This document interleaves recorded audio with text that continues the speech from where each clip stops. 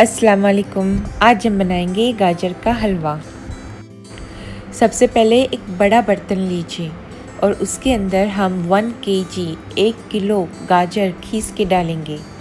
साथ में आधा लीटर दूध डालिए और उसको अच्छे से एक बार मिक्स करके लीजिए। गैस को हाई फ्लेम पर रखिए। एक बॉयल आने तक वेट कीजिए। जैसे ही एक बॉयल उसमें आ जाएगा, आप गैस को मीडियम हाई फ्लेम पर कर दीजिए। हम उसको ऐसे ओपन ही पकाएँगे, उसको कवर नहीं करना है। मीडियम हाई फ्लेम पर कंटिन्यू हम उसको आधे घंटे तक पकाएँगे। आधे घंटे बाद उसमें सिर्फ़ वन कप मिल्क बचा है। अब हम उसमें हाफ़ टी स्पून सॉल्ट डालेंगे। साथ में शुगर डालेंगे। शुगर पौना कप डालेंगे हम थ्री फोर्थ कप डालेंगे half cup plus one fourth cup और उसको अच्छे से मिक्स करके लीजिए। एक छोटा दालचीनी का टुकड़ा डालिए और साथ में तीन साबुत हरी इलायची डालिए।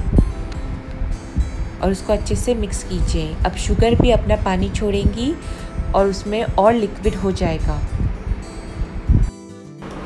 अब हम इसको मीडियम लो फ्लेम पर ढककर पकाएँगे। पूरा एकदम से कवर करके हमें नहीं रखना है। ये देखिए थोड़ा सा स्लाइटली गैप रखिए और उसको ढक कर रखिए। ऐसे पकाइए। मेरा जो ढक्कन है, उसमें एक नोज़ल लगी हुई है।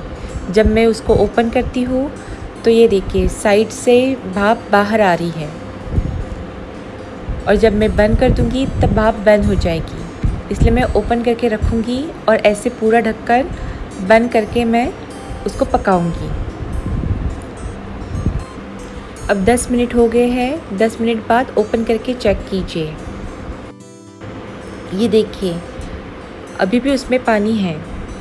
हमें ये सारा पानी रिड्यूस करना है। वापस इसको कवर कीजिए और 15 मिनट्स के लिए लो फ्लेम पर उसको पकाइए। 15 मिनट्स के बाद आप चेक करके देखेंगे तो उसमें हाफ़ कप पानी बचा हुआ है। अब यही सही मोमेंट है जब हम अपने सारे ड्राई फ्रूट्स डालेंगे। मैंने यहाँ पर बादाम, अखरोट मनुका और ज़ाफ़रान लिया है। आपको जो ड्राई फ्रूट्स पसंद है, आप वो डाल सकते हैं। अच्छे से मिक्स करके लीजिए।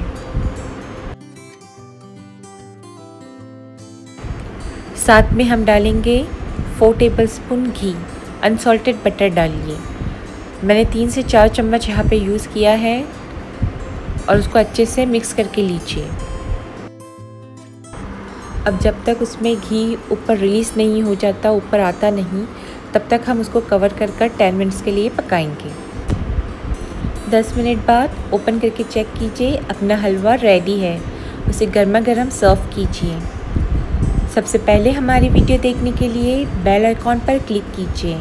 अगर आपको हमारी वीडियो पसंद आए तो प्लीज़ इसे आप लाइक कीजिए शेयर कीजिए एंड सब्सक्राइब कीजिए। Thank you